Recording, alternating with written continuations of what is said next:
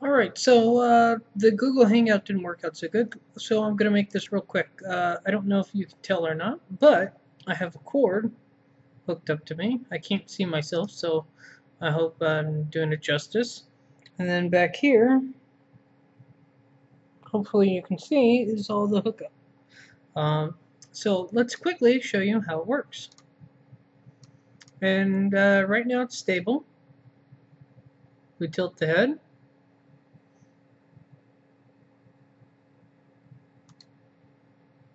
And it would do the left click, right?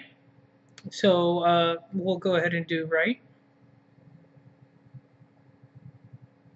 The reason we hold it there is simply because, well, after X amount of seconds, which right right now is five, uh, we assume whatever your mouse is on, that's what you want. Or uh, once we do the X, Y, uh, the Z, or I think I'm on Z, right? I got the X and the Y. Yeah, so Z, uh, or maybe I'll throw in a gyro so we can detect the actual movement and uh, not, or actually use the accelerometer for the movement and pop in a gyro for X, Y, and Z. Um, this way we can allow the head to move and whatnot to scroll through and whatnot. But I'm thinking maybe up and down will be side to side.